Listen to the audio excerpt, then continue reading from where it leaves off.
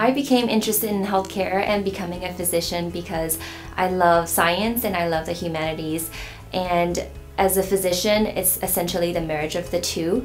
We come to work every day to apply science in the most culturally competent manner, and that's what gives me meaning when I come to work every day to accomplish that goal. Htet Khine, MD, Department of Cardiology. My patient care philosophy is to listen to the patients and connect with them.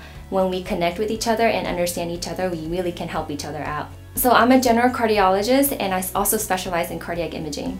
So we see a lot of patients with heart attacks, heart failure, heart rhythm problems, uh, and essentially anything cardiac related, we see them. I like to run. I like to run after work almost every day. And I also like to bike and hike on the weekends.